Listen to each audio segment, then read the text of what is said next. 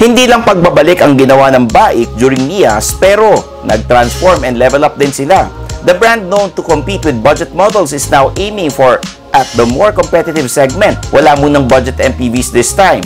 Baik is laying out their best cards this time around. Lima ang dala nila for their comeback lineup, tatlong SUV and dalawang crossover. Tingnan natin ano ang papala ninyo sa mga dinala ng Baik in this quick look of Baik's 5-car comeback lineup. Alam nang gagawin, di ba?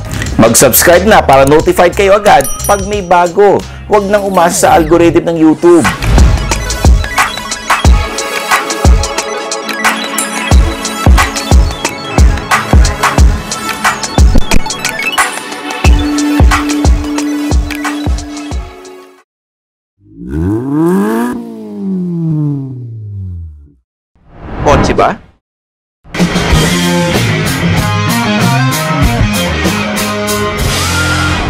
Feel kotse na. Unahin natin sa pinakamura. The X55 Verve is a compact crossover with an EV look pero may old school makina pa rin sa loob. Hindi ito hybrid, okay? Pero sobrang advanced ng look nito dahil meron pa itong pop-out door handles and sa loob, may twin floating screens for the gauge cluster and touchscreen system. It has a 1.5-liter turbo engine making 185 horsepower and 275 newton meters of torque with a 7-speed wet dual clutch transmission.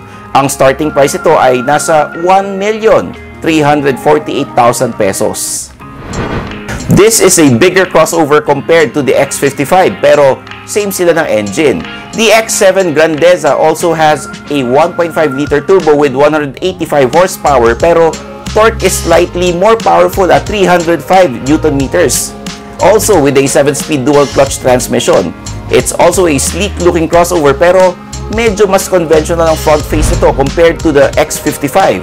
Still, it's just as advanced lalo na sa loob with its panoramic screen in front of the driver and another screen sa center console. It also comes with Napa leather seats na usually nakikita lang natin sa mga mas mahal na sasakyan. Then, meron ding dual zone climate control and panoramic sunroof among others. Magkano nga ba ito? 1,648,000 pesos lang naman. The B40 Ragnar is the beginning of bikes off-road aspirations here in the Philippines. This glamping-ready SUV is a legit 4x4. Hindi yan forma lang, boy. It has a 2-liter turbo diesel engine that makes 159 horsepower and 350 newton meters of torque and 8-speed automatic. Sa loob ay maraming circular cues complemented by straight lines for a nice contrast. It has contemporary amenities tulad ng dual zone climate control, 10-inch touchscreen and leather seats. Pero pinakamaganda rito is the option of removing the roof para open ang cabin. The B40 Ragnar has a sticker price of 2,368,000 pesos. Etong B60 Beaumont, kamukha yung last SUV from Baik nung nasa previous distributor pa sila. Just in case you missed it, Baik is now distributed by Uyagi or Uwagi, the same company that handles Photon, Cherry, and now also Link & Co. Now, the B60 Beaumont is slightly bigger sa Ragnar, pero it has the same engine setup. Only this B60 can carry 7 people, while giving them a plush ride inside its comfortable and techy cabin. Para sa mga gustong maglaro sa off-road, the B60 even comes with crawl mode na parang low-speed cruise control para focus ka lang sa steering while tackling rough terrain.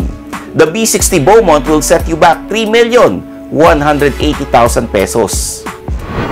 The most distinct among bikes lineup ng Mias ay ang B80 wagon. Paano ba naman? Kamukha niya yung G-Wagon ng Merc without the German price, ha? This boxy Beaumont has a 3-liter turbo V6 engine, putting out 280 horsepower and 420 newton meters of torque paired to an 8-speed automatic and 4-wheel drive system. May mga may ilang sa relatively small touchscreen ng B80 wagon at 8 inches compared sa digital gauge cluster nito na nasa 10 inches. Well, bigger is not always better kasi this small touchscreen made the dashboard more cohesive. Mas madali tingnan and easier to operate din since maliit yung area of operation. Syempre, may automatic climate control yan. Rear air vents, powered seats, and leather upholstery.